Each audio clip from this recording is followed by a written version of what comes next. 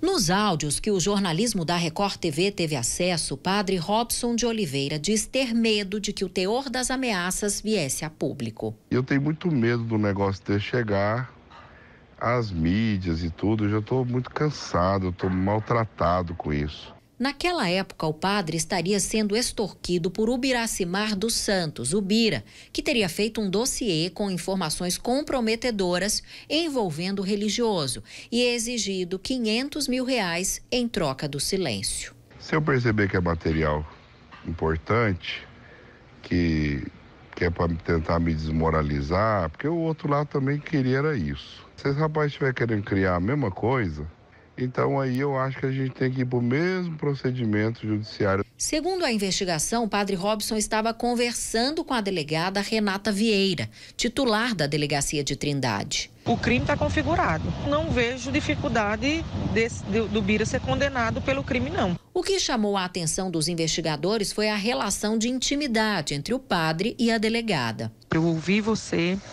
né, no Word eu ouvi o Padre Wellington no Word, tá tudo offline, ou seja, fora do sistema, não tem nada ainda, não, não baixei portaria, como se não existisse nada na delegacia, né? Eu estou ouvindo sozinho e fora do sistema. Eu tenho medo de sair da sua alçada, você entendeu? Numa das conversas, o padre admite preocupação em celebrar pessoalmente uma missa exclusiva para a família da delegada, em Pernambuco, terra natal dela. Eu me comprometeria de ir logo depois que findasse esse processo e ficar faria uma super missa lá e faria um negócio assim de desbancar a cidade toda.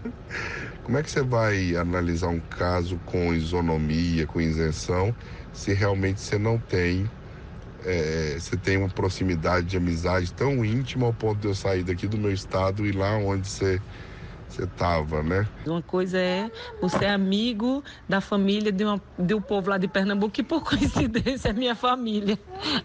Mas não tem nada a ver uma coisa com a outra, isso não anula procedimento, não. Os áudios foram periciados e obtidos na operação deflagrada pelo Ministério Público para investigar a construção da nova Basílica de Trindade, em agosto do ano passado.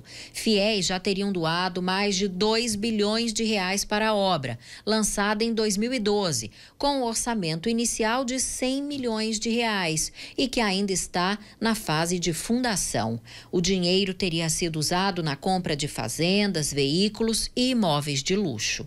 A conduta da delegada está sendo investigada pela diretoria da Polícia Civil. Ela foi afastada das funções e a delegacia de Trindade está sob intervenção da cúpula da Polícia Civil goiana. Testemunhas já começaram a ser ouvidas. Acredito que os delegados, as delegadas que estão fazendo o procedimento correcional, busquem junto ao judiciário um compartilhamento de provas relacionados a esses áudios que foram veiculados.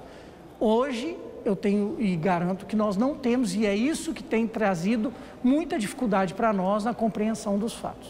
Atualmente, a investigação que apura se o dinheiro dos fiéis foi desviado pelo padre Robson de Oliveira está trancada por determinação do Superior Tribunal de Justiça.